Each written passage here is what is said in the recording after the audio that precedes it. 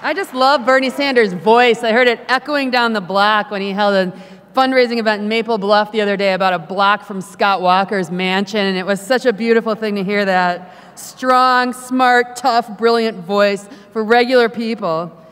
And it's wonderful to hear him grilling the apologists for Wall Street in Washington, the Alan Greenspans and the Larry Summerses who have to run into the fan blades of Bernie's intellect. It's just a beautiful thing, and we're so lucky to have that. So it's now my great pleasure to introduce our next speaker, who is a national radio commentator, writer, and author of the book Swim Against the Current Even a Dead Fish Can Go with the Flow. Jim Hightower has spent four decades battling what he calls the powers that be on behalf of the powers that ought to be consumers, working families, environmentalists, small businesses, and just plain folks. Twice elected Texas Agriculture Commissioner Hightower is a leading progressive populist of our day. You know him through his daily radio commentaries, his monthly newsletter, the Hightower Lowdown, and his column in the Progressive magazine. Molly Ivins said, if Will Rogers and Mother Jones had a baby, Jim Hightower would be that rambunctious child. So give it up for Jim Hightower.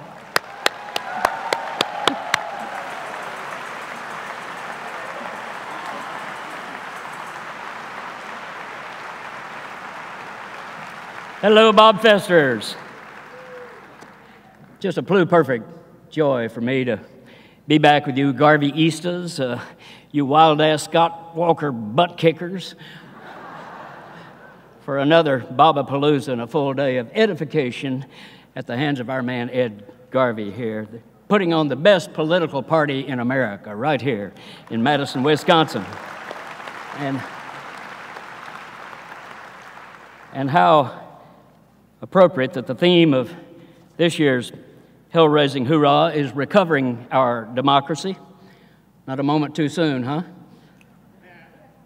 Your little petty potentate of a governor is arresting, cuffing, and bullying grandmothers and journalists and teenagers for daring to show up at his capital to criticize his policies without a permit from his government.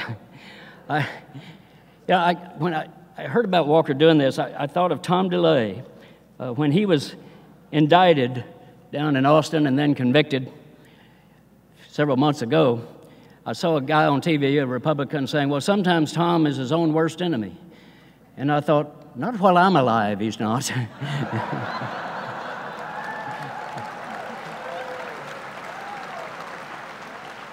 that is the attitude we have to take. Well, the spirit of Bobfest is full of that attitude. I think of an old cowboy saying out of uh, West Texas, they say, speak the truth, but ride a fast horse. We need your feisty spirit, your hard facts and hard truths, your democratic principles and citizen action more than ever before because there are powerful forces of plutocracy, autocracy, theocracy, and kleptocracy loose on our land, out to change America itself, change the very idea of America as a unique society trying to reach toward egalitarianism and the common good. You know, Benjamin Franklin at the start wrote that the destiny of America is not power, but light. Light. And the light he meant was the light of those values of economic fairness, social justice, equal opportunity for all people. That's the light of America, yet our political, yes. Yet the political, media, and corporate powers that be, excuse the redundancy there, won't even talk about those core values, much less attempt to implement any of them. I think our problem is uh, we got too many 5 watt bulbs sitting in 100 watt sockets, if you know what I mean. And as a result, we have a darkness descending on our land. Bill Moyer said it. He said that the delusional is no longer marginal. It has come in from the fringe to sit in the very seat of power. We've got Tea Party Republicans in Washington trying to rule by hissy fit. Voters last year soundly rejected them, especially women, Latinos, young people, African Americans, labor, GLBT. Yet, right after the election, John Boehner, the Speaker of the House, the Orange Man, said that now Obama needed to compromise with the House because the House had won a mandate. You know, the more Boehner talks, the more you have to wonder is he naturally stupid or does he have to practice that every morning? Yet Boehner is not the most bizarro of them. There's a guy named Representative Ted Yoho. That's his name. Over here in Pennsylvania, this Yahoo says that there is a racist tax hidden in Obamacare. And the tax is, he says, a 10% tax on tanning salons. It discriminates against white people, he said. We have to pay the tax and they don't. And if you think it can't get more bizarre than that, never bet against Texas when it comes to Yahoo. We've got a guy named Steve Stockman, a member of Congress a member of Congress of the United States of America. He's got a bumper sticker for reelection. Says, if babies had guns, they would not be aborted.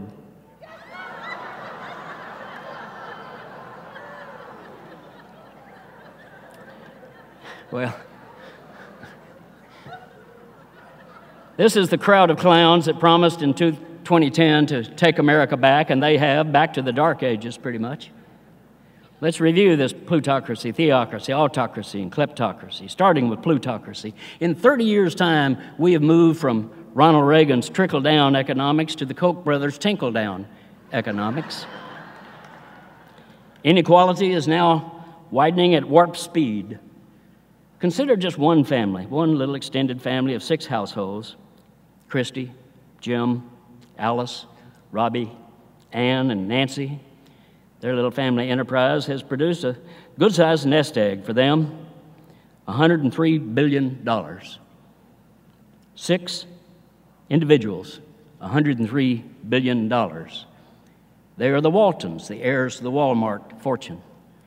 These six people possess more wealth than the bottom 40% of all American households. The Walmart Six have a stash of riches greater than that owned by 127 million America. Six people have more wealth than 127 million of our fellow citizens. Yet that gap is growing steadily wider, while the wealth of the typical family is down by nearly 40% since 2009. The wealth of the six Waltons is up by 22% without them having to lift a finger. They did nothing. Net worth has nothing to do with worthiness. You know, sometimes you, I mean, you got to say, these people are getting so rich they could afford to air condition hell. And I tell you what, they better be setting some money aside for that project, I think. But.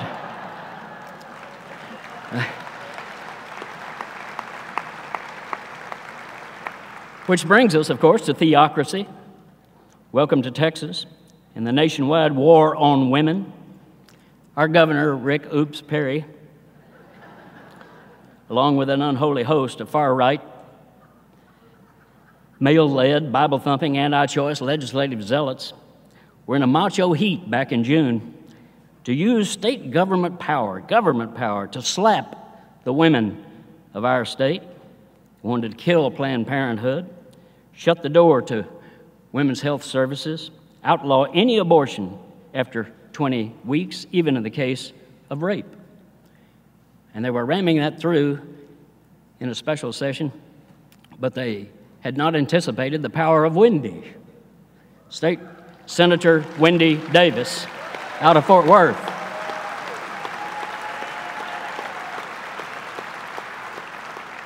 Who took a stand. June 25th, conducted an 11 hour filibuster. A filibuster in Texas is not a stroll in the park. It's not like one of those Mitch McConnell things where you say, I'm going to have a filibuster, okay, we cave in. Rather, you have to actually talk for the full time. Uh, you have to be on topic. Uh, you cannot even lean on your desk. Uh, you cannot sit down. You can take no break to pee or anything like that. It is a, a grueling exercise. But she did it for 11 hours, but she did not do it alone because the word went out on the internet and on Twitter and et cetera, and on the media that Wendy was taking a stand. And from all over the state, 1,500 women came, some of them driving more than 200 miles to get there. And they, they filled the gallery. They flowed down the hallways and the stairways. They filled the rotunda. And when the lieutenant governor finally, at the last minute, cut her off, they erupted. It was so noisy that senators could not hear themselves speak. The, the clock ticked steadily toward midnight when the session would end, and the Republicans panicked. They, they couldn't get it together, though, and the bill died as midnight passed.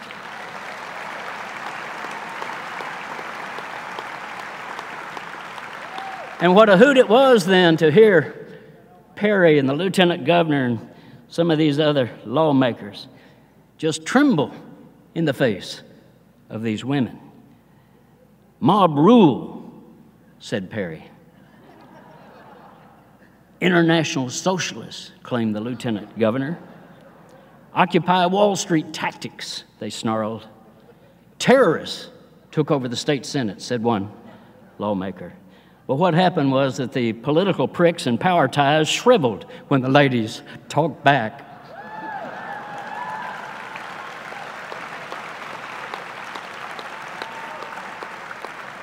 That's the power of ordinary people. It's not just this theocracy, not just taking place in Texas, unfortunately. State after state, you see right wing trying to take America back to Father's knows best in the 1950s. My lowdown last uh, issue, we wrote about some of the other states are doing. Won't tax your patience with many of them, but Alabama, for example, they go further than even 20 weeks without uh, beyond which you cannot have an abortion. Uh, Alabama proposes uh, that uh, the moment an egg is fertilized, a baby exists. That makes that gives sperm the protection of personhood. See, that's their goal. Save the sperm, people. Save the sperm. That's what we're talking about. If you think it can't get wackier than that, go to Arizona. They say that a baby exists the first day after a woman's last menstrual period prior to getting pregnant. A baby exists two weeks prior to conception. Miraculous indeed, don't you think? Well, next, let's take a look at the rise of autocracy. We can talk, as we've been doing today, about permanent war. Iraq, we've achieved so much there, right? Afghanistan, trillions of dollars, and dead people and mangled lives, lost opportunities. Now, on to Syria because Lockheed has investors to feed on to Syria and beyond. We could talk about that, or we could talk about the militarization of our police forces in this country. Use of drones, police with drones, tanks, riot gear, SWAT teams, the mentality of force first. But I think we progressives have a special duty to talk about something else. We need to face up to and face down something far more reaching, uh, more far reaching even than those.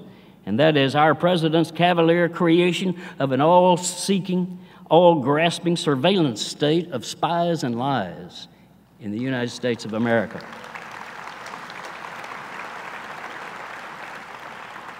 This is the evil spawn of the 2001 Patriot Act, of course. And thank you, Russ Feingold, for being the one senator who voted against that.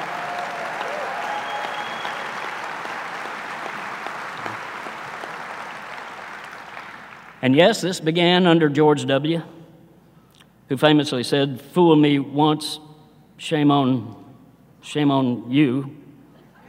Fool me, you can't get fooled again. I miss him. but it is Barack Obama who has been the one to turn the National Security Agency into the super lux vacuum cleaner of every American's First and Fourth Amendment constitutional rights and then lied about it. Last month, Obama said NSA is not listening in to your phone calls. It turns out to be a lie. He said NSA is not reading people's emails. That turns out to be a lie. They are. He said members of Congress are fully briefed. That's a lie. They're not. He said there's a secret court that protects your privacy. That's a lie. They're not. I mean, let's be frank, or Ed, or whoever. If Bush and Cheney were the ones doing that, we would be in high howl over what's going on. And to me, it is worse that Obama is the one behind it. We can't give him a pass on this. We have got to stand up for people's constitutional rights.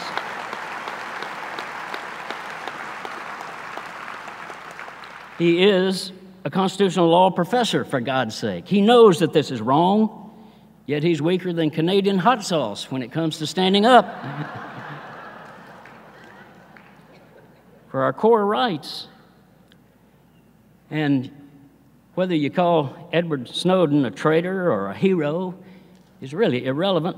What's relevant is that without his revelations, we still would not know what our government is doing. We still wouldn't know it.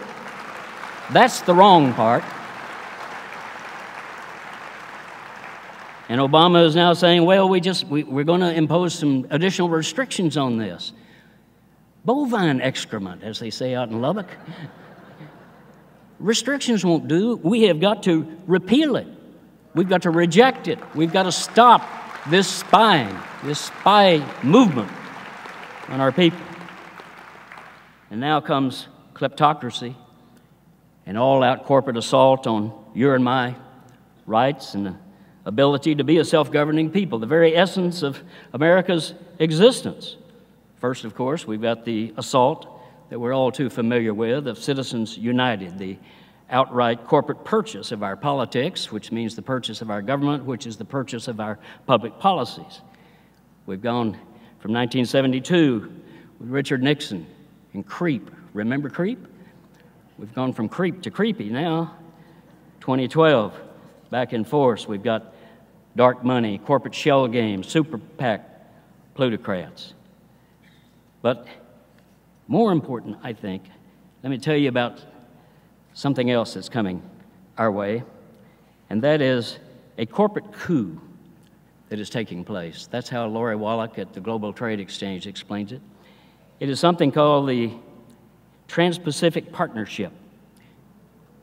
This is a sneak attack, very little media coverage of this. This is an all out sneak attack on our sovereignty. Uh, it is a supersized, nuclearized NAFTA that both George W. and Obama have been secretly negotiating since 2008, negotiating with 11 Pacific Rim nations from Mexico to Vietnam, Canada to Brunei. It is an astonishing piece of work. It masquerades as a trade proposal, but it has 29 chapters in this huge document, only five of which deal with trade. The rest of them deal with enthroning corporate power over ordinary citizens. For example, you might have a program here in Madison of Buy Wisconsin with your local government, uh, or, or, or, Buy Madison even. You might have a, a Buy Sweatshop Free. Uh, you, you, you would put your public money where your values are. That would be outlawed by the Trans Pacific Partnership. Uh, food safety. Uh, any, any of our government's food safety uh, regulations on pesticide levels, GMOs, uh, et cetera, uh, that are stricter than the international standard, as most of ours are, would be eliminated, would be reduced to the international standard. Uh, our, our Department of Energy would no longer have the power to regulate fracking of gas that is going to be exported to those nations. So it will result in a huge boom in increased fracking because they will not have to uh, explain the environmental and economic impacts on local communities. uh, the banksters. Uh, this Trans Pacific Partnership would explicitly prohibit such provisions as the Robin Hood tax that we propose here in the United States, a trans uh, tax on the transactions of speculators around the globe to finance the kind of things that we want done, that Bernie Sanders talked about, about America becoming a great nation. Where's the money? Where are we going to get the money? They said, we're going to get it from where it went. We're going to get it from Wall Street and these speculators that have hauled it all off. Well, this transnational partnership takes our sovereignty away and says we can't do that. We need to pay attention to the Trans Pacific Partnership. So go to the website of the uh, Public Citizens uh, Global Trade Watch. That is at tradewatch.org and sign up. They've got all kinds of local actions all across the country. We have a very good chance of defeating this, but we have got to do the work that it takes to defeat it. Now, let me tell you something astonishing. Despite all of this bad news, we're winning. We are winning in fight after fight, thanks to the phenomenal efforts of grassroots folks like you on issue after issue, we're winning.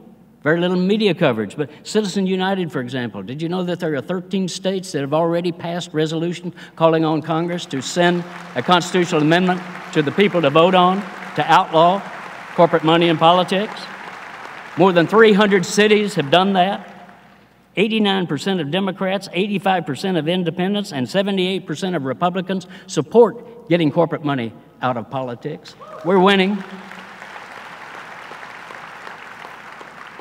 That Trans Pacific Partnership, you know, the, the, the, more people know about it, uh, the, the, less their chances are. Now, Lyndon Johnson once said, You can't make chicken salad out of chicken manure. He was a little more graphic than that, but. and that's all they've got. And we've got a very broad coalition that the Public Citizen Global Trade Watch has helped to form and, and coordinate to defeat it. And, some, and the, the media establishment said, oh, well, you, you can't defeat one of these things. The, the people can't understand. It's too complex for the people to understand. Well, bullshit. It, this is a straight out power grab by multinational corporations. It's not hard to understand it at all. And people do get it, but we have to go to the people with that. And since 1998, we have defeated 10 of these kind of trade scams in the Congress of the United States. We can do it again. Uh, on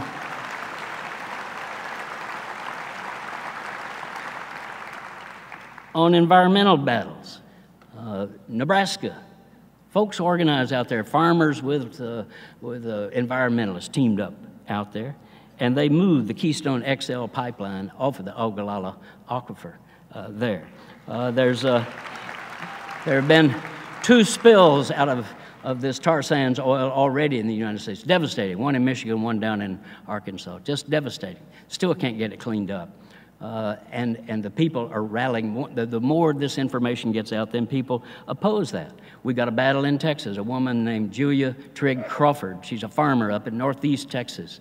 Uh, and the Keystone Pipeline outfit was able to use the state's power of eminent domain to force that pipeline across her land and across the creek that waters, that uh, irrigates her crops uh, down there. Uh, but they picked on the wrong woman. Julia is six foot tall, former basketball player at Texas A&M, and, and a third generation farmer. And they got the pipeline across her land, but she has now organized a statewide campaign of environmentalists, of farmers, of all kinds of just regular workaday people, Republican as well as Democrat, to say we've got to take the power of eminent domain back uh, into the public domain, not allow foreign corporations to use it to run over us. Uh, so, the same thing with fracking.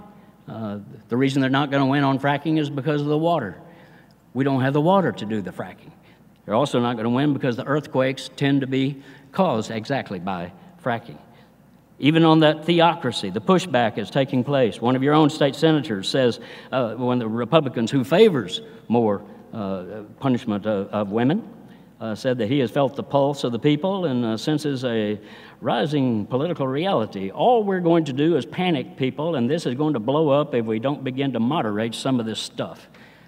Well, even they are getting uh, the message uh, there. So we can fight back. And uh, the uh, GLBT fights, in, as you know, all across the country, the gay marriage thing is now happening. I was in New Mexico just uh, two weeks ago, and it happened the day I was there that uh, a uh, county commissioner said there's nothing, I've read the, the Constitution of the state of New Mexico, and there's nothing in there that prohibits uh, same sex marriage. So we, I, I, will start issuing licenses today. Uh, and they're now doing it all across in that state. So, I, I, all right. A friend of mine put it to me like this. He said, Those who say it can't be done should not interrupt those who are doing it and that would be you. We're the ones to make the difference here. You're the ones who are doing it. So I'm here simply to say, keep on keeping on, uh, and to say, keep on keeping on more. Do a little bit more. Uh, because the people are with us, as Bernie was indicating, on issue after issue. And we have those values too. You know, I, I grew up, I was a small guy growing up in a small Texas town. Uh, and I learned early on you should never hit a man with glasses. You should use something much heavier. uh, and, and the heaviest thing that we have is that set of values fairness, justice, opportunity for all people. We believe in that in this country. And that's the way we need to couch all of these issues in terms of our values, in terms of the stories that we have to tell. So keep reaching out with Bobfest's core progressive message, uh, with its spirit, uh, and with its mission. And as Patti Smith put it in that great rocking song, people have the power the power to dream, to rule, to wrestle the world from fools. Thank you for what you're doing to get that done. Glad to be with you.